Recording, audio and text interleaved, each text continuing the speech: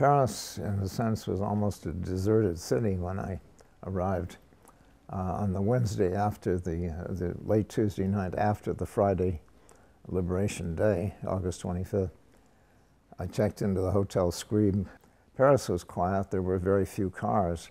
People didn't have gas, and there were, there were only jeeps. I, I managed to get a bicycle in, in my five weeks in Paris to get around. I, I, I lived at the, at the Scribe, and I worked at the Time Life office, which we qu quickly established on it was right on the Place de la Concorde in, in the Guarantee Trust building.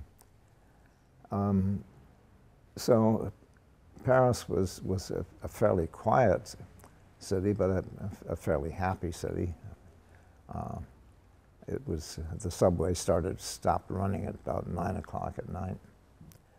And uh, there was, so you can't say that there was much nightlife. I had a wonderful evening of, of, a couple of an hour with Marlene Dietrich at the Ritz. Uh, I heard she was had come in town. She was had been entertaining the troops, and I called her and asked if I could talk to her about a life story, and she said, "Sure, come on over."